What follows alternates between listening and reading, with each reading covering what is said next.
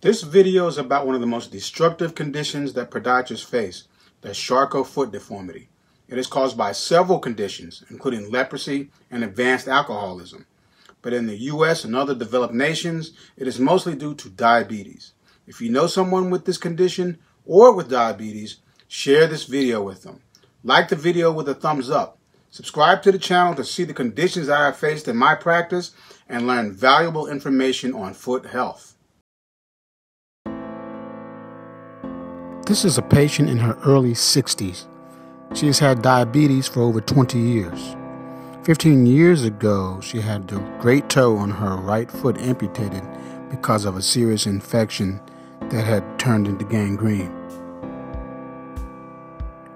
Over the past few years, she noticed that her feet began to become wider, flatter, and more difficult for her to walk. She has extreme difficulty in her right foot. You can see in the picture how much wider her right foot is in comparison to her left. Charcot foot was named after a French neurologist from the 1800s named Jean-Martin Charcot. Also known as Charcot arthropathy and neuropathic arthropathy, Charcot foot is characterized by breakdown of the bones and the joints and the soft tissue structures that support them. This patient has the classic rocker bottom deformity due to the collapse of the ankle and the bones of the midfoot. You can see that she has so much breakdown of the medial side or big toe side of the foot that the lateral side or the little toe side of the foot doesn't even touch the floor. The difference between her left and right foot is remarkable. There's absolutely no support in the ankle or the middle of her right foot. The heel is flailed outward. The lateral side of the foot does not make contact with the ground.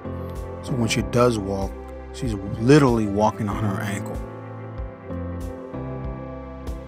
Charcot foot is a direct result of advanced neuropathy.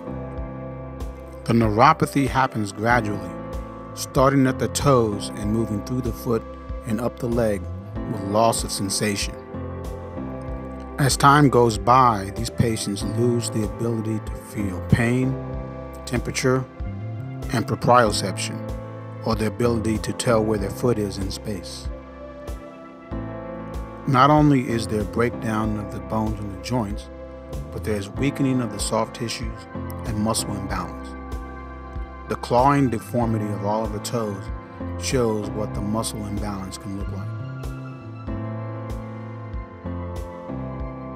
Patients must clearly understand the extent of their condition.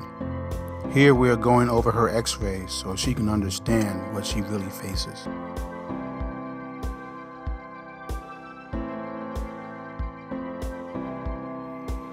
In this x-ray view, we can see the level of amputation of the great toe.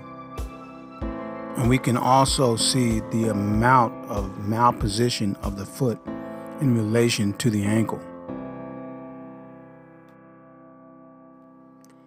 In comparison, here's a picture of a normal foot x-ray of this view. In this lateral x-ray view of our patient, we can see collapse of joints, breakdown of bone, remolding of bone, flattening of the arch, and vast soft tissue swelling.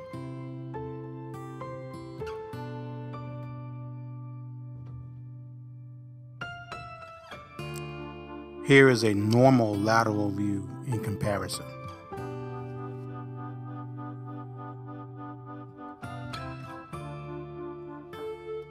When examining foot conditions, I start with the normal or less effective side first. This gives me a better idea of what is normal for that particular patient. Her left foot is showing some early Charcot changes, with flattening of the arch and decreased range of motion.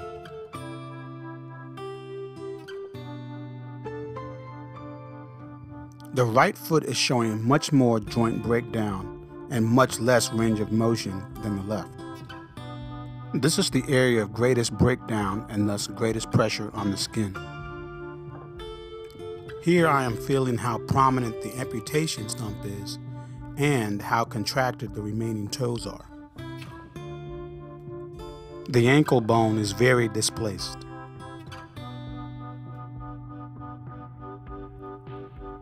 In her gait analysis, we can see all of the collapse of the ankle onto the foot, as well as the high pressure area in the middle of the arch.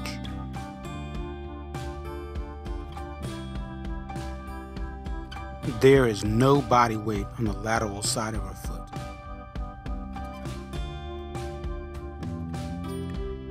There is no way any regular shoe can support this deformity.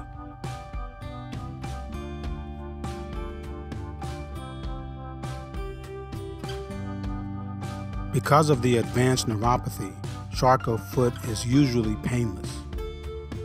Although in this case, because of the way she walks and the deformity in her foot and ankle, this led to pain in her lower leg and in her knee. Early signs and symptoms of Charcot foot include redness and swelling. This may be confused as either cellulitis, which is skin infection, or a blood clot in the leg. Therefore, it's very important that the patient be seen immediately if these signs take place. X rays, a CT scan, and an MRI may be necessary to determine the extent of damage to the bones, joints, and soft tissues. Non invasive blood flow studies of the legs and feet are also necessary to determine if there is any peripheral arterial disease. Blood work is done to tell how well the blood sugar has been controlled and how healthy the other systems are. If the patient is obese, then weight management is necessary to reduce pressure on the legs and the feet. If caught early enough, Charcot foot can be managed without surgery, and the deformities that we see here can be avoided.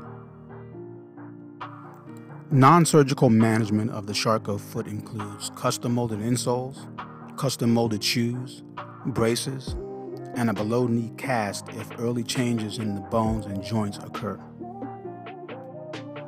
There is no cure for Charcot foot arthropathy, so management of this condition lasts throughout the lifetime of the patient. Charcot foot arthropathy is a very serious condition. The pressures placed on the bottom of the foot can lead to the formation of ulcers, these ulcers can become infected and gangrene can ensue. This can lead to amputation of the leg.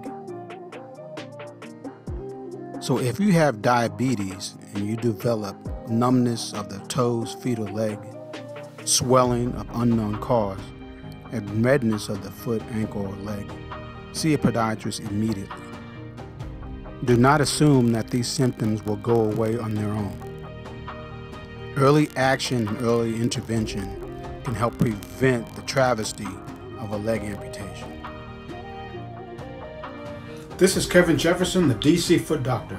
Thank you for watching this video.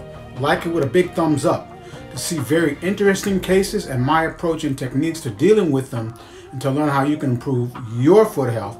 Subscribe to the channel. Ring the bell so you will know when a new video has been uploaded. Follow me on social media at DC Foot Doctor. Most importantly, take care of your feet.